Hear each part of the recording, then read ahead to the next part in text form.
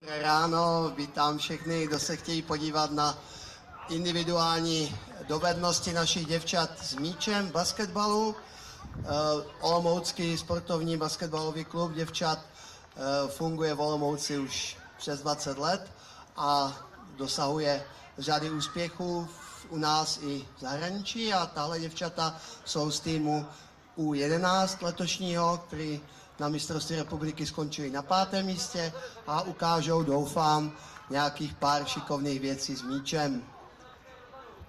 Děkuji, tak ať se vám daří.